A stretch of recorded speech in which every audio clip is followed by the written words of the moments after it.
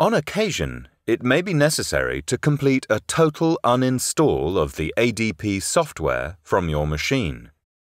To do this, please complete the following instructions. This will remove all ADP software, including user settings and downloaded data. You will need to start by logging into the PC as an administrator. If you do not hold full admin rights to the system, you will need to contact your IT support department for assistance. From the Start menu, navigate to the Windows Control Panel.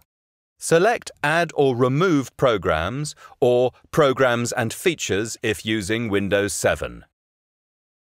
Select Admiralty Digital Publications, Remove or Uninstall, and then Yes. The system will then remove the ADP programs. This may take a few minutes. Once complete, you will need to remove the ADP data still held within the system. Insert the ADP installation CD and cancel any automatic installations.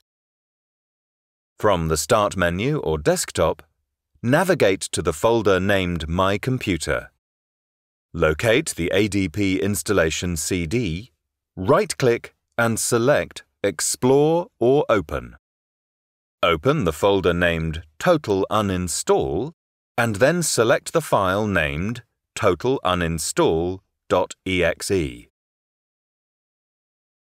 Finally, click Next. Once complete, you will have successfully removed ADP from your system.